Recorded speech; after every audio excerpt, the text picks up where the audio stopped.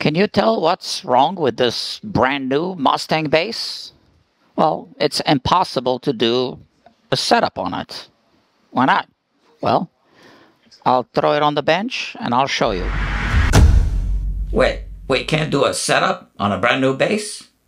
Well, we kind of can, but it just wouldn't be a good setup. And at Guitar Quackery, we only do good setups. Uh, so, there's an old Chinese proverb that says, a stringed instrument can only be as good as the strings you put on it. Makes sense, right? And then there's an even older old Chinese proverb that says, before you attempt a setup, you gotta put the right strings on. Well, that also makes sense. So, welcome back to Guitar Quackery. And uh, now let me just stop talking. Let me take you over to the shop and then I'll do some more talking. I have the bass on the bench. Let's have a quick look at it. It's a Mustang bass, uh, brand new. Okay, so uh, perhaps I can uh, go over the entire bass with a phone. Uh, I don't really like this uh, gap here, uh, but that's not the problem. Okay, so um, it's a, uh, a rear loading bridge. Okay, this is important. Uh, some Mustang basses have uh, a string through body design, uh, not this one. All right, so the problem is here at the headstock. Here you can see um, a bumblebee wrap. I call it a bumblebee wrap because the string used on this bass is a 34 inch scale length string that was wrapped three times around the tuning post. And here you have a tapered part of the string tucked in like that. Okay? And that's potentially a problem. Uh, it's not just cosmetic. Um, I'll explain why. I have a, a fragment uh, from a uh, uh, from an old string. So uh, let's have a look at the uh, this part of the base, this part of the neck. Perhaps I can zoom in a little bit. As you can see, there's a thick part, and then it gets thinner. Okay, and the thin part was wrapped around the tuning post. Okay? But here, we have a different situation. The thick part of the string is wrapped three times, and then we have the tapered part right here. And that's not good, right? So this um, part should be right behind the nut, like that, okay? Uh, that's how it should be. And like I said, it's not just cosmetic. Now, if I show you from this angle, you will see a little bit of a arching side effect, which is uh, caused by uh, this uh, break, a severe break angle. So the, the, the more break angle you have, if you look here, you can see how it lifts the string a little bit. Okay? That's a, a detail that's often missed. And now I will show you uh, through the microscope why that's important. So let me uh, have a look here. Um, as you can see, uh, this is the string. It, it wiggles inside of the string slot. So let me remove that string. Okay, very lightly. All right, and let's zoom in on this. So what we see here is a witness point at the bottom of the string slot.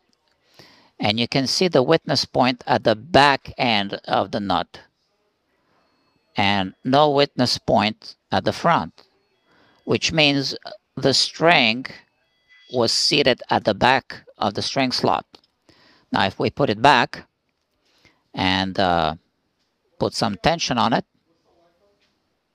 let me zoom out. Now I'll zoom out this way. Okay, so uh, if, I push the string here, you can see a little bit of a string lift.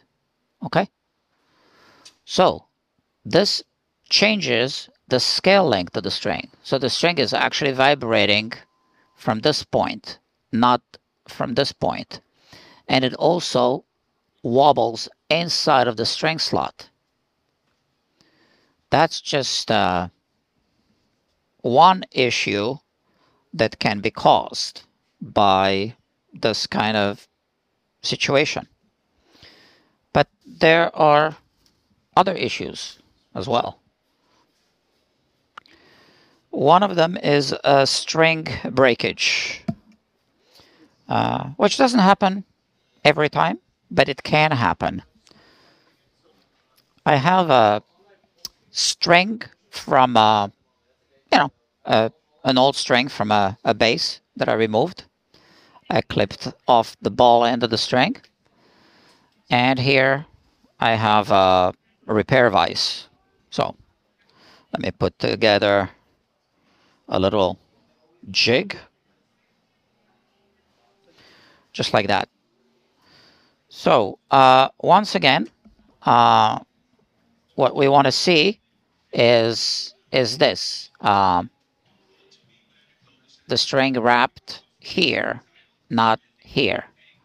So if I uh, show you the other end of the string, the same string, and I put it inside of the vise, and now let's uh, let's do this. Let's bend the string. Okay, it just broke. Well, uh, that's a problem.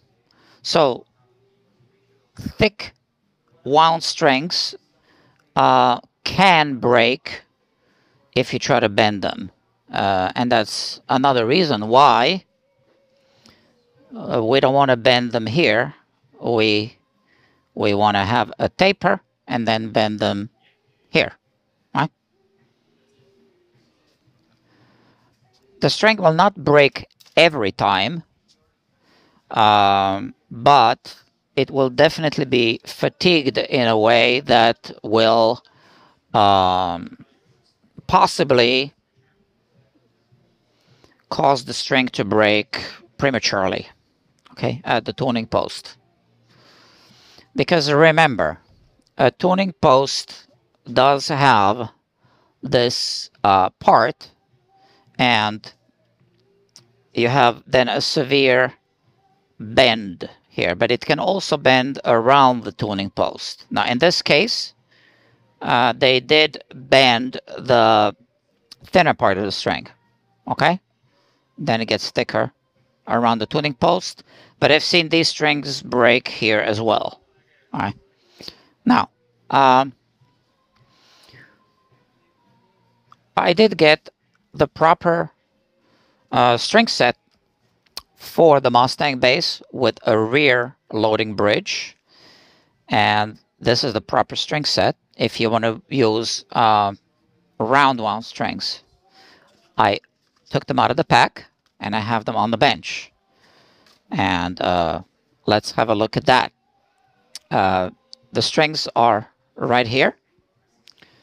And the most important string is the low E string, okay? Which I am going to measure against the scale length. So this ball end is going to be uh, right behind the bridge once the string is installed, okay? So we want to go this way. And then we we want to look uh, here and what we see here is in fact um, the correct situation right so the thin part of the string will be wrapped around the tuning post And we don't want to wrap it too many times because we don't want to increase the break angle as discussed earlier. So that's it. I am going to remove these strings. I'm going to uh, do a full setup on it. I am going to fix the nut because it's a little bit higher uh, than it should be. And uh, obviously I'll put the right strings on this bass. Now, one important uh, detail is um, the fact that this is a rear loading bridge. On some Mustang basses, you have a string through design, which means some uh, extra part of the string will be used up at this end going through the body. And in that case, this will happen here. If you uh, look at the situation, you will see that the tapered part is going through the nut and that's not going to work obviously. Uh, so when uh, you buy strings for a Mustang bass you have to know if you're buying strings for a string through body design or um, like in this case strung through the back of the bridge. Okay, so we need the right strings uh, or things might not work out. Uh, now, if it's a 30 inch uh, scale bass, you gotta put 30 inch scale strings on it. But you need to know if it's uh, a rear loading bridge or through the body because that's gonna make a difference. Now, I made a little uh, something for you, so why don't I just show you? This is a, a model uh, that represents uh, a wound string. The blue rubber band represents the core of the string, and these segments are windings. And this is basically a cross section of the string. Okay. Now this uh, will represent our tuning post. So now let's see what happens when you wind a string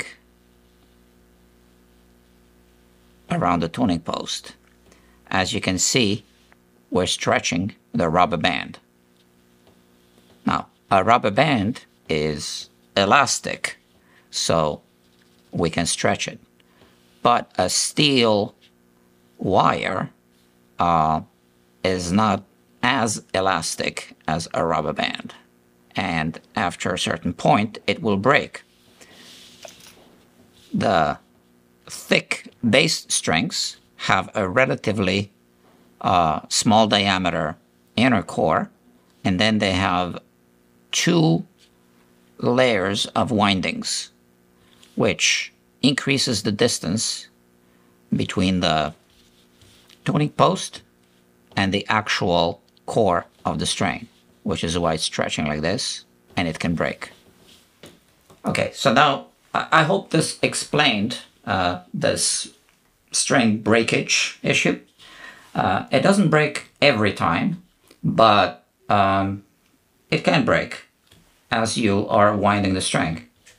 And if it doesn't break as you're winding the string, um, it might break as you're playing on stage or wherever. Uh, so you really need to put the right strings on. I'll put a link below um, for the actual strings that I put on this actual bass. And remember, this is a bridge that has a rear loading uh, design, not through the body. You will need a different set of strings if your Mustang bass takes the strings through the body. Okay? So now let me show you how to put the strings on. Well, uh, we'll put the string on uh, this is the most critical one.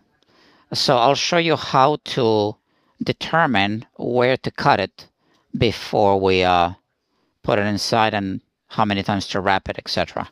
So uh, we want to end up with a tuning post in about perhaps this position when uh, when the string is tuned to pitch.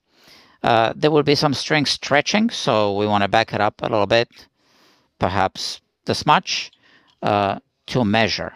Okay.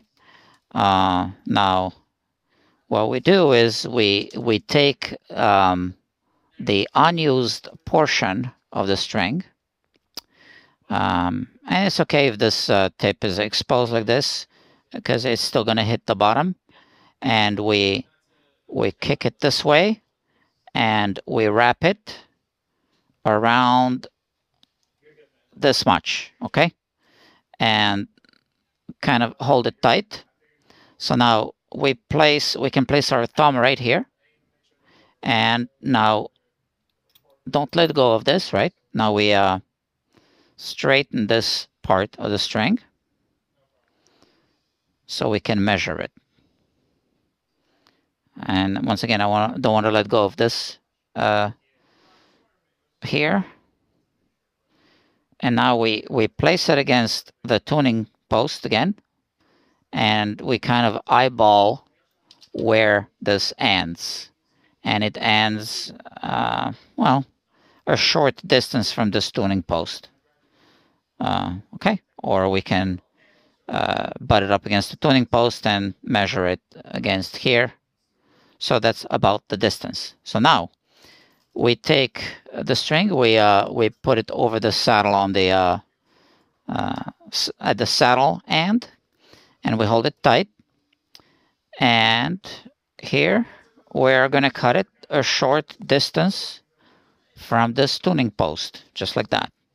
Now, I know that some uh, texts recommend to bend the string first and then cut it, but um, yeah, I'm not going to do it. I'm just going to cut it. And now place it here, bend it like that, and tune it to pitch. Just like that. Now uh, go under and this is it. So now all that remains to be done is to tune this string to pitch.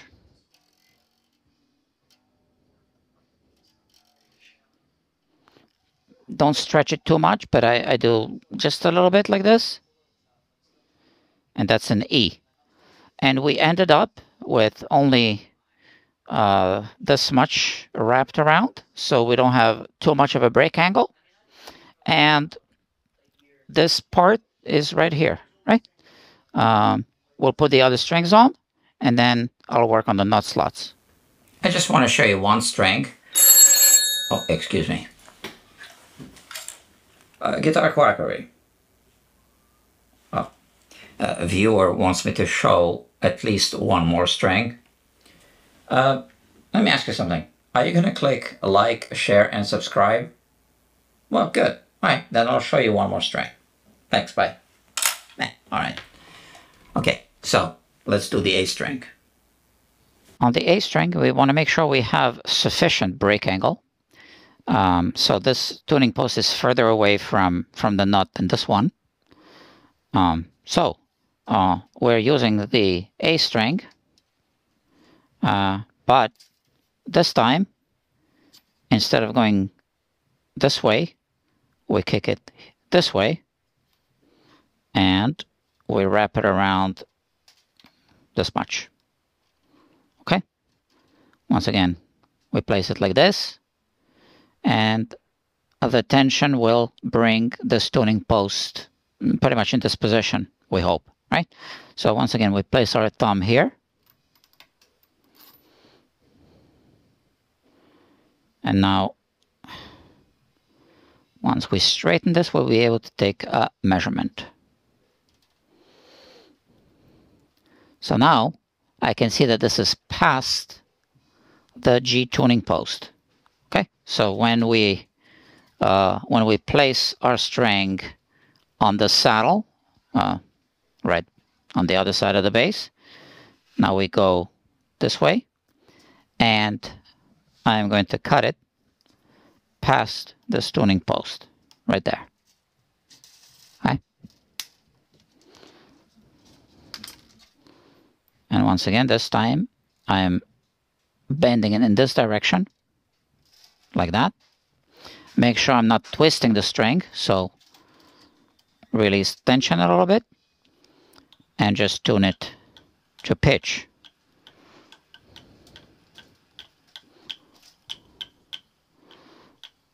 So this is where we want to end up, yeah?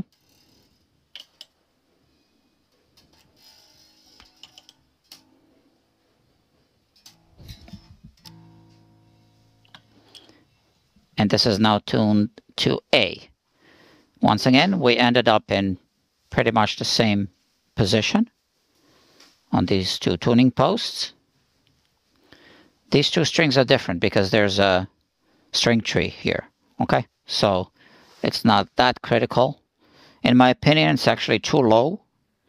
It should be raised up, but this is how it's made. So for now, we'll leave it this way.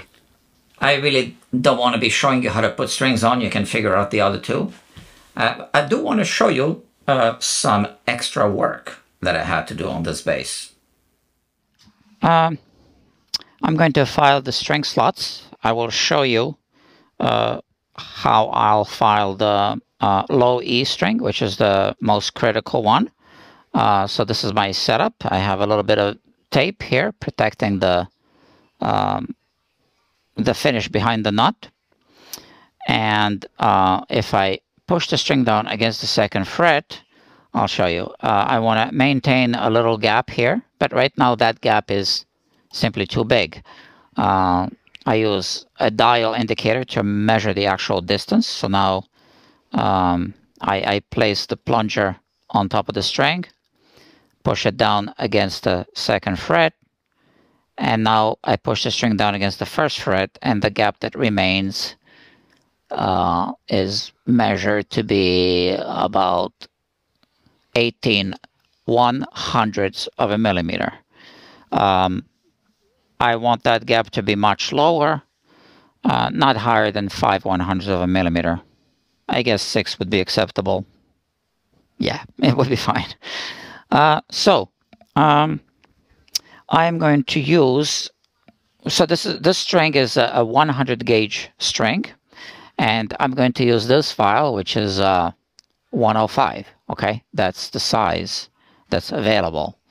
So I'm going to release this string tension and remove it. And now um, I am going to look through the microscope at the actual string slot. So uh, here you see it. Okay. And like I said, I want to remove some material from the back end. Now, as you can see, um, uh, it's it's kind of hard to see uh, what I'm doing uh, because everything is white. So uh, for this purpose, I use a mechanical pencil. This is a 0.3 millimeters, and I can draw a little line inside at the bottom of the string slot, just like that. And this way, I can see exactly where I'm removing um, the material when I file. So here I hit it with the file at the back end first only, okay? So I'm holding it at an angle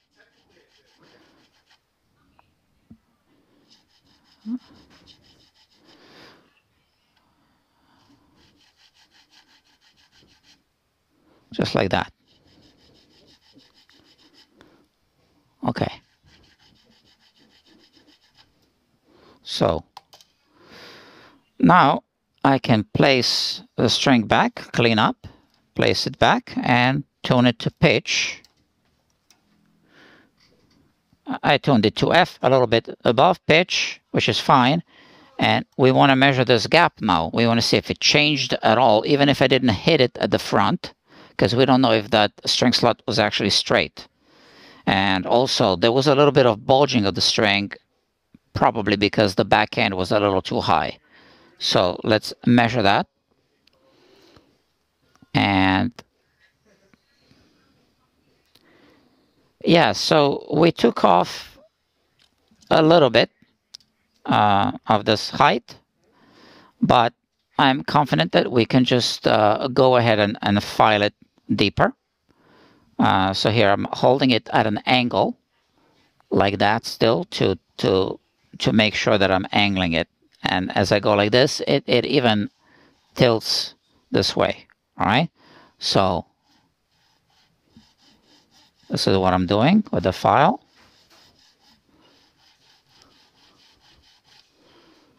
Okay, so I can clearly see that I am uh, removing material from the front, which is this powder.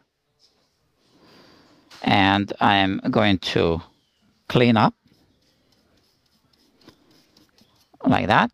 Place the string back and tune it to pitch and take another measurement. I'm going to tune it to a, a little bit above pitch, okay? That's good practice, so there's less sinking at this stage of the file, uh, filing process.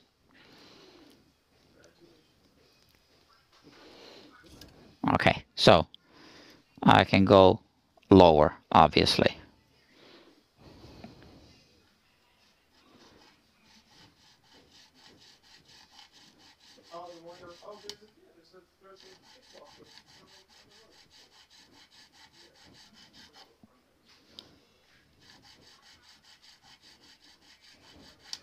Okay, now I want to clean off the powder and take another measurement. This time I will tune it to pitch.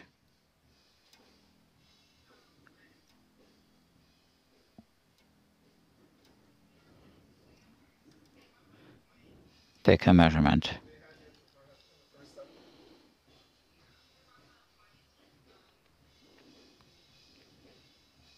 This is uh, much better, obviously. We got a little bit left to go.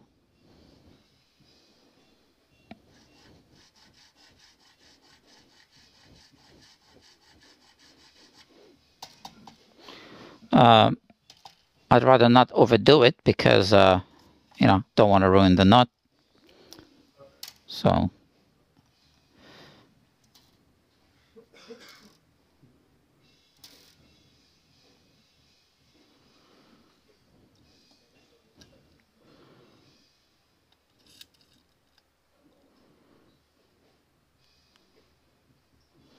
So we're still too high.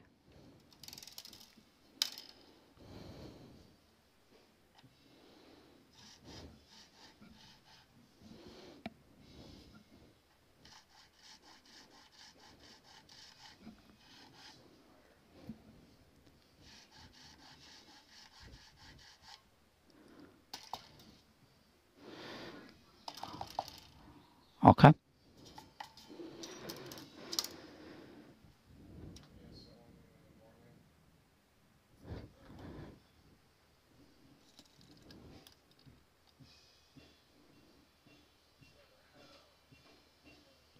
Okay, now uh, I want to make sure that the string is well seated at the back end, which is what I'll take uh, a, a, smaller file. That's a 46 gauge file. And right now I want to hit uh, the back end right here with a 46 gauge file, just that. So let me mark off the entire length and just hit the backhand.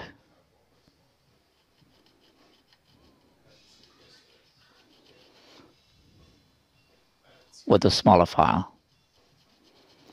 This way, the string will be seated nicely at the back end. Okay, which uh, will increase the pressure here at the front, okay? Hopefully. So let's put the string back and tune it to pitch.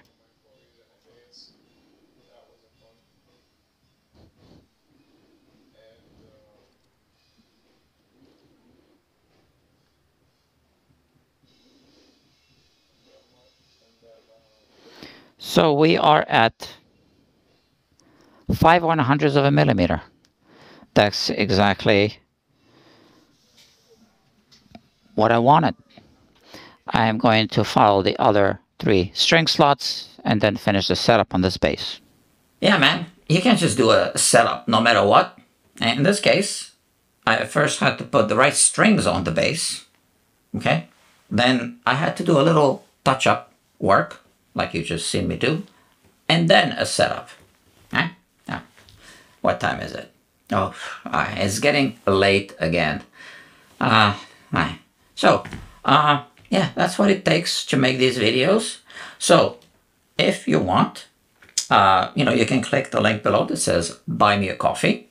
That'll keep me up at night editing. Uh, thank you. And yeah, we're not done yet. I'm going to take you back to the shop, but I didn't want to say something. Uh, oh yeah, there's a Patreon link uh, you can click on and check it out.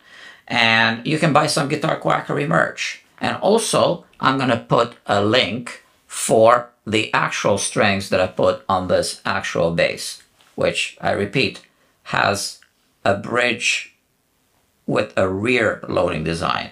Okay, so if you need strings for a string through Mustang bass, they are not going to be the same strings. So keep that in mind. I'm not going to put a link for those because that can get messy. Uh, but check out La Bella strings. All right, back to the shop. That's it.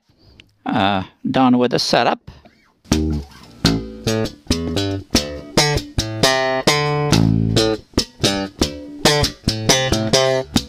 Yeah, it works. Uh, haven't played it much yet, but uh, what time is it? It's almost 11. I think I'm going to wrap it up for the night. I hope this made sense, uh, at least some of it. Uh, and I hope you picked up some useful information, right? Uh, this is all about sharing. Speaking of sharing, make sure you click the link uh, below to share the video. Thank you. Oh, you can also uh, copy the link to this video and share it on guitar forums, right? This way you share it with the community and I get to make more videos as well. Uh, speaking of more videos, I already made a video about uh, the issue with the low E string on a bass guitar. That's already been published. So you should definitely check out that video. What else? Uh, yeah, uh, you can click the link below that says buy me a coffee if you want to buy me a coffee. Thank you. And I guess I'll just see you next time.